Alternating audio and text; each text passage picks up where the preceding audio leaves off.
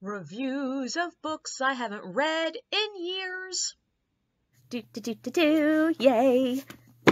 This is one of my favorite books I read in college. This is The Life and Opinions of Tristram Shandy Gentleman by Laurence Sterne.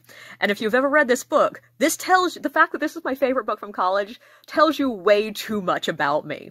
This book is a rambling mess of random ass thoughts there is technically a plot line. It's technically uh, set up as a memoir of Tristram Shandy, this character, and it starts before he's even born. It starts at his conception, which is hilarious. Like, oh my god, it is so funny.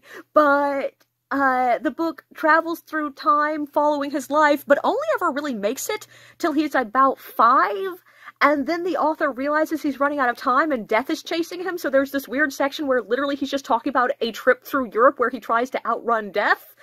And then we jump back to the beginning of his life when the author suddenly realizes he never managed to tell you about the day of his conception. And it is just so beautifully silly.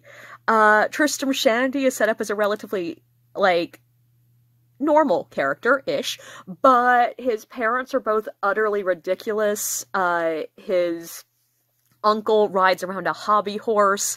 I love this book, and it's also it's it is unusually formatted, especially for you know uh 17th century. Oh god, this is embarrassing. 18th century, 18th century book. Like you don't usually find books that just have an entire page of black at that time period.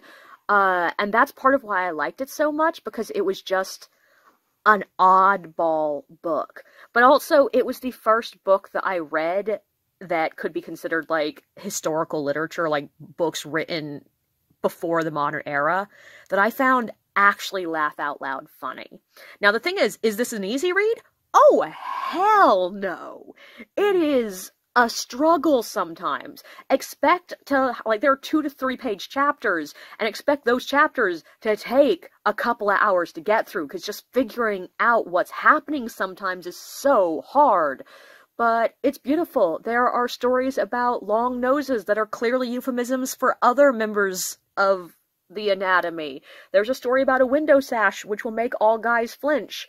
There is a weird like diatribe about like avoiding death. Like this is a lovely book and it's also a rather deep musing about what humans leave behind and what is the purpose of, you know, human life. You know, a good book.